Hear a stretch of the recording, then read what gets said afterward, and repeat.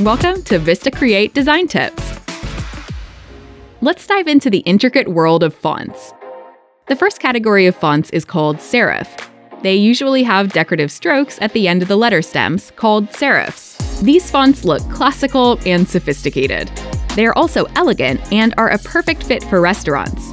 And they will definitely make any visual look more fancy. Serif fonts are often used in traditional media, such as newspapers, magazines, and books but they are also common with graphic design for digital marketing because they exude confidence. Next in a row are sans serif fonts. They're all the font styles without serifs. They're often associated with modern design. They look minimalistic and clean. You can be sure they'll make your brand look friendly and informal. Because of the simplicity of sans serif fonts, they suit all sorts of businesses, from tech startups to interior design agencies and bakeries. Decorative fonts, on the other hand, break all the rules. They can be inspired by handicrafts and used to show off a brand's eccentricity. Some of them even evoke a sense of sweetness. Decorative fonts get quite imaginative and help businesses stand out. They're a great fit for branding of clothes, podcasts, children's goods, and other services. Fonts have families, or typefaces. Each contains a font of different weight. Bold fonts stand out, so they're used to highlight important content. Fonts can also be of semi bold, regular, light, thin weight, and more.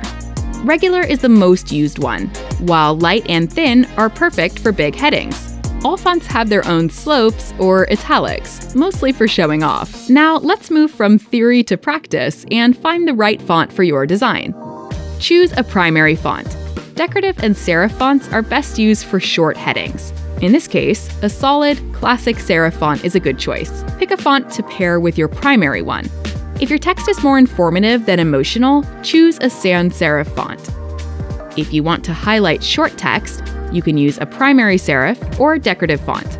To enhance your design and make it more interesting, highlight the important text with another color. It's important to structure your text according to the visual hierarchy so that it's easy on the eye. But how do you avoid common typography mistakes?